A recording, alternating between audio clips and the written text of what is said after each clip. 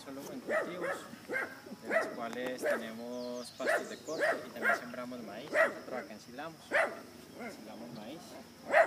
En este momento no, no sembramos maíz por el verano que hubo, entonces estamos comprando de afuera maíz.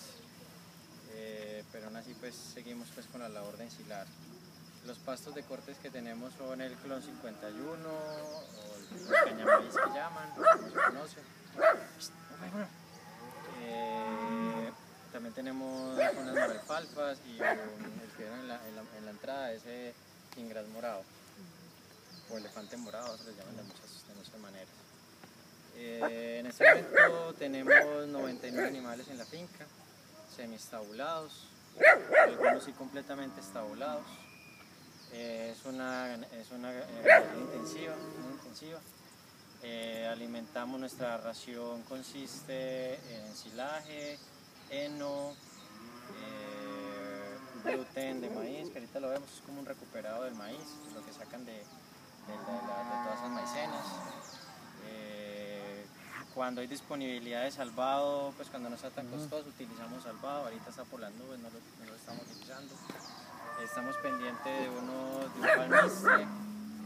Eh, también hemos utilizado torta de algodón, pues lo que uno más que todo en este ya deja de, ser ganadero a ser como, como jefe de, de- compras de, lo que haya por ahí para empezar a alimentar el ganado.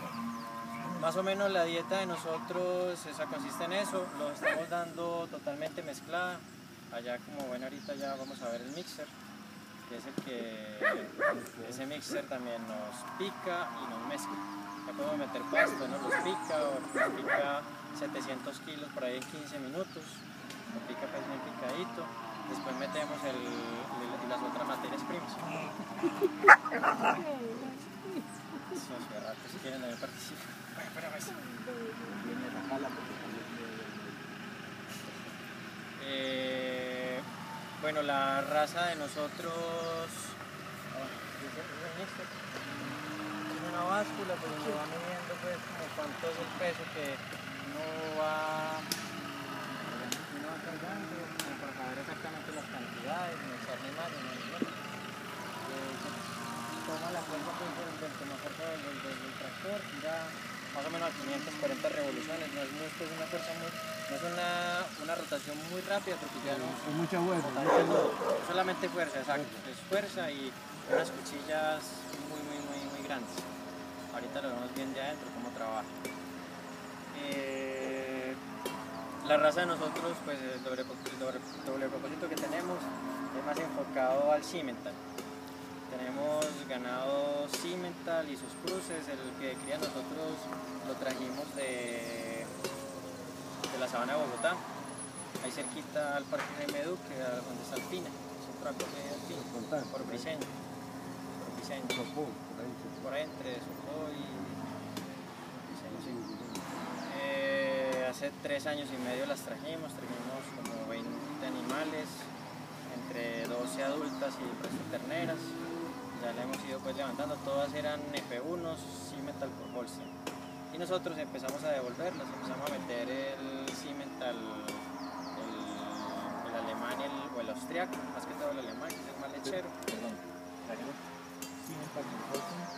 Exacto, sí, tra- Empezaron a devolver con y empezamos a devolver por inseminación artificial y meterle pajillas de, de cimento.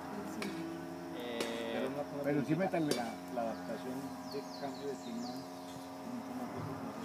por acá no nos da tan duro porque pues, el clima no es tan, no es tan bravo, por, por decir como Cartago, de pronto ya más para, para el valle, para, para, para la Tebaida. Aquí estamos, perdón, aquí estamos como a Aquí 1400. estamos a 1550. 1550 y estamos muy cerca pues, de la montaña, entonces por la noche es muy fresquito. Cuando hace calor también hace fuerte, pero pues la- el acostumbramiento fue más que todo tener la garrapata limpia, de la finca limpia de garrapatas. Todos los animalitos que nosotros queríamos meter primero animales blancos, para importar animales acá. Esos animales pues ellos venían con garrapatas, algunos ectoparásitos y todo, y pues con esos parásitos. Eh, eso lo acabamos con Acatac, eso es un ovicida. Muy buen producto, o el Allianz también. Son muy buenos productos. Acá la- los, los animales no tienen garrapatas y están constantemente en control. Perdóname, dentro de la alimentación la hace eh, grasas sobrepasantes. Damos en el ordeño, antes damos una grasa sobrepasante, pero tenemos que quitarla porque ahorita vemos las condiciones de las vacas, No, sí, que nos están disparando mucho y, y tiende mucho a engrasar los ovarios. Entonces ustedes pues no preñan una vaca de esas ni, ni por el berraco, lo que dicen que sea, que sea macho raro, pues que dicen. Ah, sí, sí. Entonces es muy complicado ya volverlas a preñar. Entonces nos tocó que quitarle esa, esa grasa. Eh, también porque pues, por el ensilaje pues, es un alto contenido de, de energía y, y también eso pues, Disculpa, las- de- de- Las ganancias de peso aquí, las que tienes. ¿Las qué, perdón? Ganancias de peso.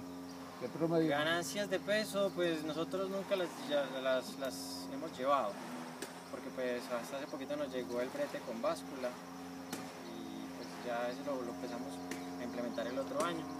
Pero más o menos pues con cinta, en terneros y levante, está más o menos de alrededor de 7 a 650 gramos día. Más o menos ese, ese peso. Con raciones de qué kilogramos. Pues nosotros, yo acá no me voy tanto a la materia verde como tal, sino a la materia seca. Lo que hago es que yo formulo la dieta según en base a materia seca, lo que es pues todos los, los- los- los animales.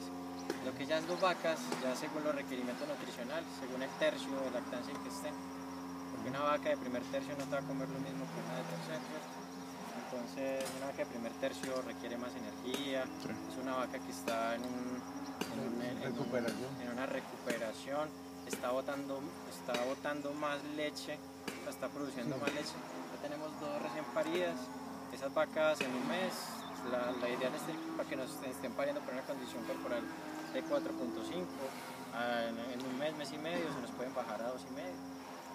Eh, claro que con esta dieta que nosotros estamos implementando no se bajan tanto, eso es lo bueno, porque siempre le, le- le mantenemos los, los niveles de, de consumo de materia seca altos. Eh, ¿Y los a promedios? las vacas lactantes les damos un promedio de 4.5 kilos, Por- de 4.5% del peso vivo de materia seca. Lo normal es un 2, nosotros se lo duplicamos. Ya las terneras sí es un 2, que es una ¿Y los promedios de leche, perdona?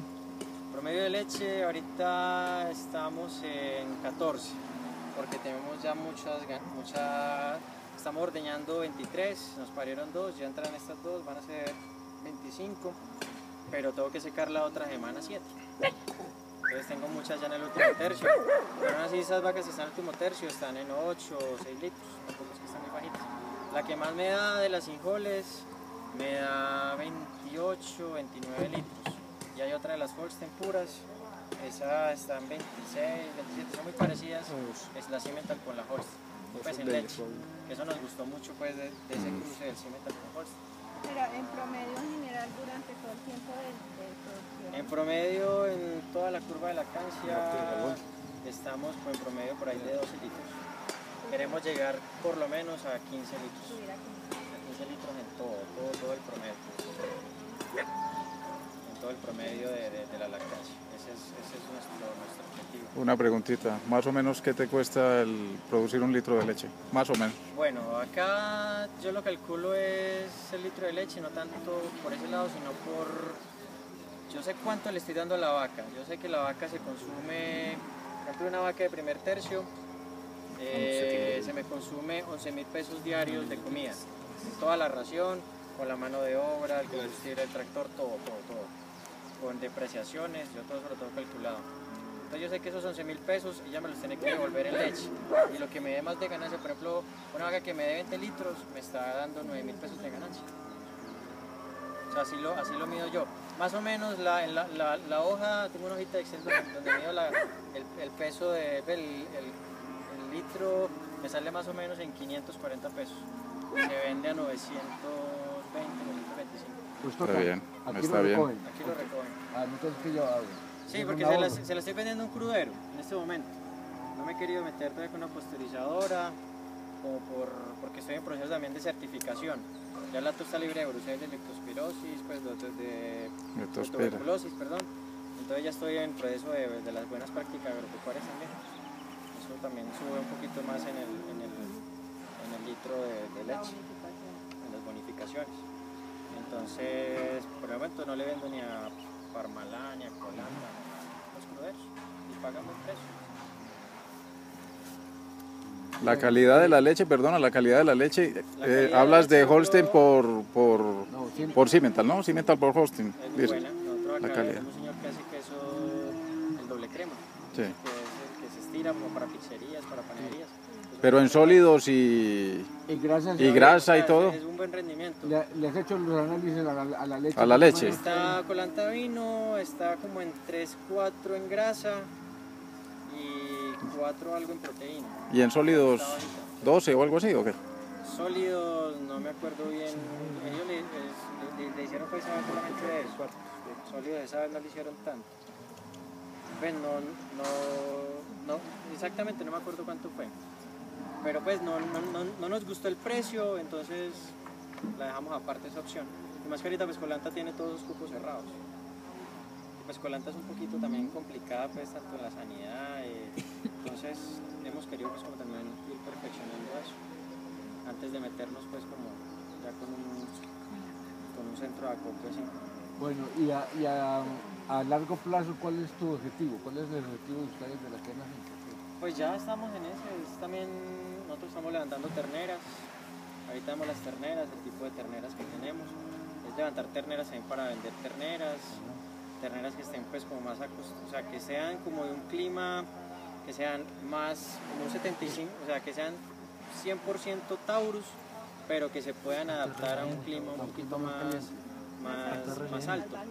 El Cimental le brinda eso, el Cimental le brinda esa, esa, esa Ajá. facilidad. Por ejemplo, para un clima de, de 1250 es recomendable el cimental. Pues, Por el Toro Valle, por ahí por sí, 1250. Pero no- 1250, perfecto. Si se han llevado cimental puro para, para los llanos. Ah, entonces- Cartago, bajando de Cartago hay un Más de Cartago cimental Bueno, y pues más o menos una, una ternera de, de esteta, ¿cuánto puede costar? ¿Cuál, cuál sería el valor de una R1 de Boston? nosotros compramos con papeles todos los animales, las terneras y las adultas. Las adultas nos costaron 7 millones, o sea, con papeles, las registradas. Las terneras están en promedio de 4 millones. ¿Cómo? ¿Cuántas terneras? ¿Cuántas terneras compramos esa vez? Como, como 8, terneras, 9 terneras. Y el resto era adulto. Eh, eso fue lo que compramos. Eso que las encontramos baratas. Porque usted va a comprar cimental puro y le piden de 15 millones para arriba. Por, eso que te hagan el precio, porque es que eso es una locura, eso es una locura. No, el cimental es muy costoso. Y mucha gente se ha salido de todas las asociaciones es porque ven que eso es una locura muy berraca, eso no, no aguanta la gente. Lo otro que queremos es sacar razas y ahorita le estamos metiendo, buscando, porque ya usted no está vendiendo es cantidad de leche, sino calidad. Entonces la- la leche la están pagando por peso. Entonces lo que estamos haciendo es metiéndole raza, una raza que nos compense más eso. Nos hubiésemos ido por, el, por, la, por la, la top, que es la jersey, pero no nos gusta la jersey, porque es muy demorada en llegar a donde uno quiere preñarla, es muy demorado el proceso. Nos fuimos por una raza francesa, la Montpellier. Ahorita vemos las terneras, es una raza que es, o sea, usted la ve fenotípicamente, es muy parecida a la Cimental, pero pues tiene ciertas características, un poquito más despigmentada en la cara que la, que la Cimental. La una que otra sale pues con, con ciertas pigmentaciones.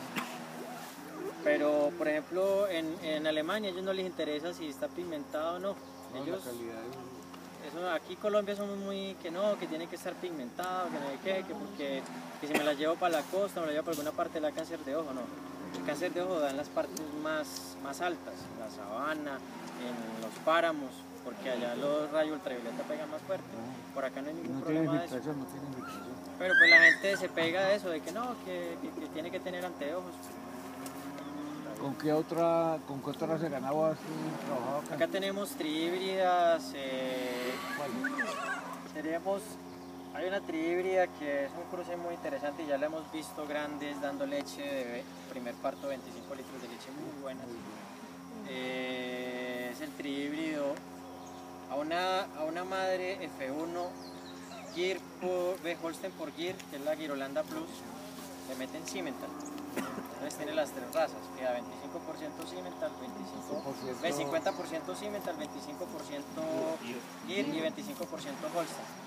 Le da la rusticidad del, del Gear a cualquier clima que uno la quiera llevar.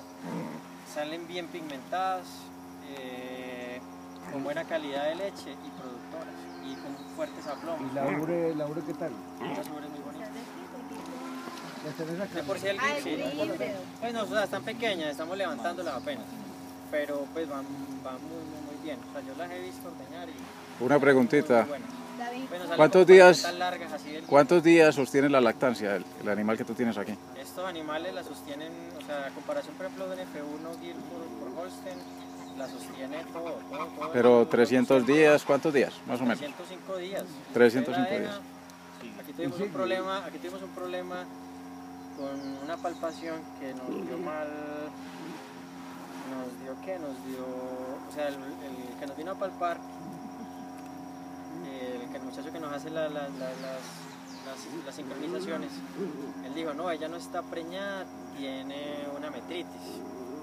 Yo la palpé a los días también, yo no, dejémosla quieta porque yo no creo que sea metritis, porque pues el- eh, sí, pues, daba algo de tono folicular, estaba algo, algo durito, pero pues no era como tan, tan blandito como él decía. Ve tan duro. Ella estaba lactando y nos descuidamos eh, y nos parió dando leche. O sea, nos, nos siguió dando leche y, y estaba todavía en 15 litros. Parió dando 15 litros. Ahorita la vemos, se llama remolacha. ¿Y cómo se recupera ese animal? No, sigue pues dando buena leche, pero esta vez la voy a, la voy a secar. La secan antes. La voy a secar antes, por ahí falta, faltándole 3 o 4 meses la voy a secar. Para que se recupere pues de, de haber dado leche. Porque es, es desgastante. Muy, muy desgastante para el animalito eso. O de- sí, dejarla descansar. Lo, lo bueno de esta raza también es la longevidad. Pues usted puede tenerla hasta 8 o 12 partos. Aquí en Cartago tenían la, la vaca cimental más longeva, que creo que era como de 25 partos. Era una, vaca vieja y todavía la siguen sacando crías. Y, y para hacer transferencia de embriones. David, cuando usted habla de que esto es eh, doble propósito, pero se refiere a que a la leche y al levante de terneras, o sea, venta de novillas. Exacto. Sí, pero Solo leche. también engordamos los terneros. Sí, están- Y los terneros salen con, pero para carne. Sí, para carne. Pues a nosotros también hemos vendido. Hay unos, por ejemplo, acá ahí tenemos uno que está ya preparado. Es un toro muy bueno. Una de las vacas más productoras del Chacal, ya está preparadito. Entonces, o sea, le seminamos con uno de los toros buenos de Cimental, que Wincy. Nosotros no le sacamos papeles, si le sacamos papeles al hombre se le sube mucho. Entonces, algo que le interesa es tener buena raza y sabe la genética que hay. Eso es lo que queremos más adelante, vender animales que no tengan papeles, pero que se sepa la, la, la- la genética que hay. Porque es que el cimental es muy, muy costoso. y Es una locura, cruces. esto es una locura. Sí, el pequeño, ¿no? Es complicado para la gente si tener, eh, tener, un, animalito cimental. Nosotros acá podemos vender terneras ya preñadas, por ahí en promedio de 4 a 3 millones y medio. Ya, pues, de- ya, ya.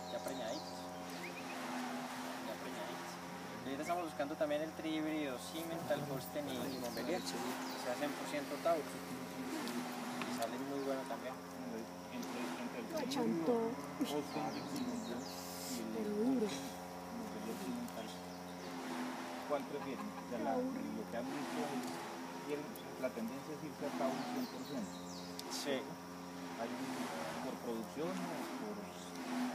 por, di- o sea, como, como cuando está al supermercado tiene diver- diversidad, ¿cierto? Tiene varias marcas. claro. Ya hay un señor que de pronto le guste más el gear que por la origilargos, porque hay señores así que les gusta más por el largo, por las paneras, que, que- que siempre les ha gustado el. Más por Son muy bonitos y son muy hermosas también. Los dos son, salen muy bonitos. Los dos salen muy bonitos. Y muy buenos lecheros también.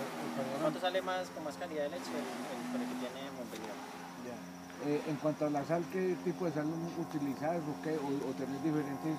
Utilizamos en lactancia una sal al 8, en la una sal al 8 y el otro una sal al 6. Y Minerblock, esos bloques nutricionales. La sal, melaza, de todo. Sí, sí, viene todo eso. Eso viene así, sí. Eso se le, se le echa ahí. Eh, De, de, de libre, libre consumo. Pues, se deja ahí- en el ordeño sí es controlado, son 100 gramos más o menos diarios. 100 gramos diarios.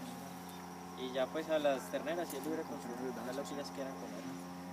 Bueno, eh. ¿qué tipo de enfermedades has, has padecido acá? ¿Qué, qué, qué complicaciones se ha, se presentado en el parto? Digamos? Comencemos con el parto. Por ejemplo, en el parto, dificultad en el parto, son...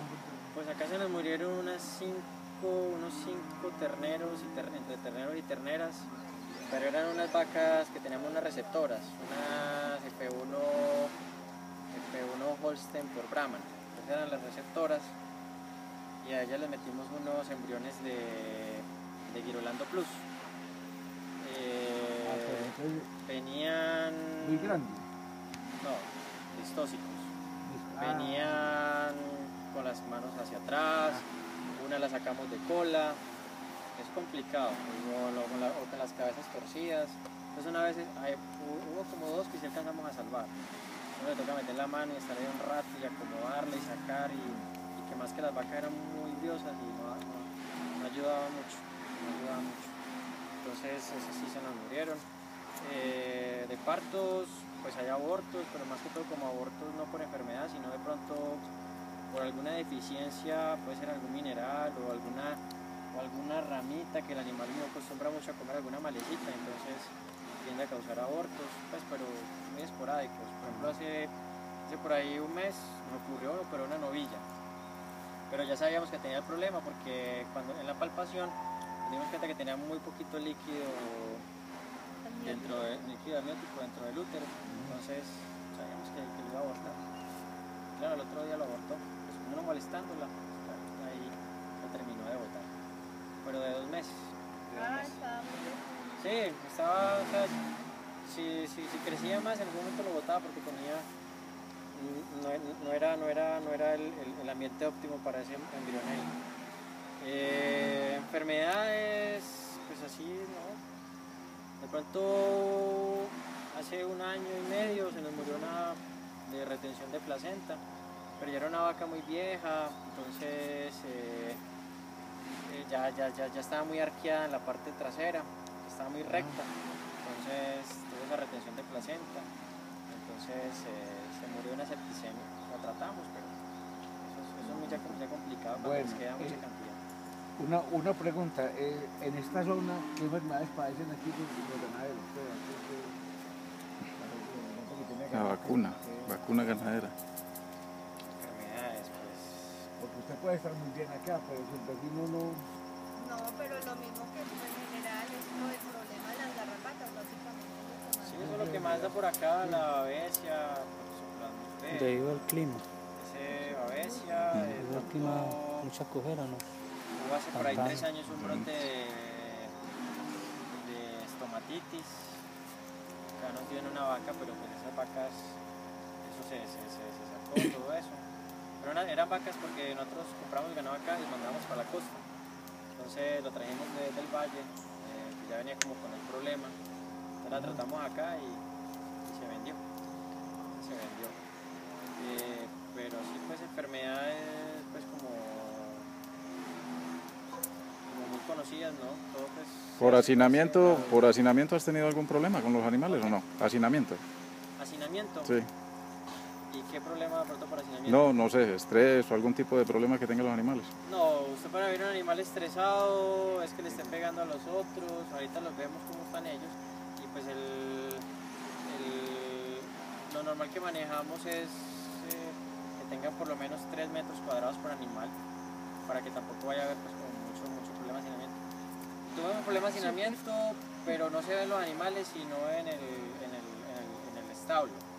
Ya tenemos un establo, ¿no? invernadero, porque cuando este, después del verano que un invierno larguito, eh, se nos dañó unos, unos plásticos, porque antes del, desde el invierno empezó a soplar mucho, unos vientos muy impresionantes, entonces desajustó los plásticos y nos entró mucha agua. Entonces tuvo que sacar ese ganado de allá y lo, tenemos acá en el, el establo de cemento. Mientras sacamos esa boñiga de allá, solucionamos ese problema ya. Pero el resto problemas de hacinamiento no. Por ejemplo, problemas de cojeras, tampoco nada de eso. En ese, en ese sentido, pues estamos Bueno, muy pendientes. y en cuanto a, a los pastos, ¿cómo estás haciendo a ver, los, abonos? Pues, ¿Cómo estás abonando los pastos? Eh, los abonos, los pastos de corte, pues eh, los abonos. En el verano no fuimos abonados. Nos tocó los pastos se nos quedaron muy bajitos. Ahorita estábamos pues escasos de comida, nos tocó comprar heno. Eh, pero el abono pues el normal de nosotros es eh, cuando se corta, por ahí dos veces al año aplicamos un fósforo, un DAP, se le aplica un DAP y ya el resto son eh, mezclas de KCL con urea y foliares. Hay foliares que, que- que tienen nitrógeno, el mismo potasio, utilizamos algas, algas marinas. Sí, sí. algas marinas aportan, aportan potasio más que todo como para desarrollo pues de la, de la planta. ¿Y cada cuánto abona? Eh, Cada corte, cada corte se, se abona. Más que todo el clon, el clon es el más exigente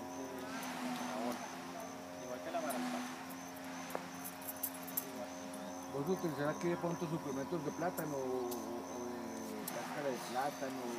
Que estás aquí zona platanera que No es eso de ponte en el gallo. gustado. Es que trae Porque mucha no agua, no sale comprando esa agua. Y si yo me voy... No, porque lo vas a secar, lo vas a secar diciendo lo compro pero seco la cáscara. Sí, pero es que la cuestión de eso es que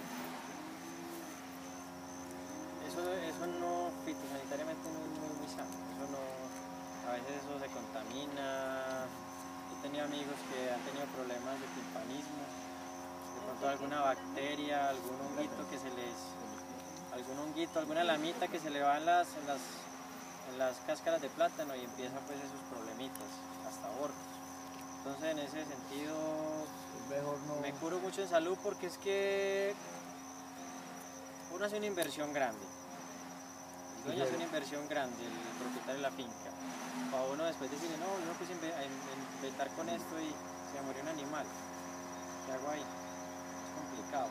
Entonces es, alimentar con, con lo, con lo básico, pero sabiendo que usted está nutriendo al animal, que no le está dando pues que no le está dando pues eh, cantidades muy altas de por ejemplo si yo, si yo me pongo a alimentar a este animal le da solo pasto tendría que darle unas cantidades muy grandes y tampoco me la van a comer si alimento de buena calidad la materia seca los animales consumen menos cantidad y, y se va a ver reflejado también en, en el- en- en la leche o en el, en el aumento de peso porque si estoy usando es materia seca o sea, algo que, que le alimenta al animal y que lo, y que, y que lo va a tener bien eso es importante Bueno, y en el manejo del silo, ¿qué es mejor? ¿Comprarlo o producirlo? ¿Cómo lo salen más favorable?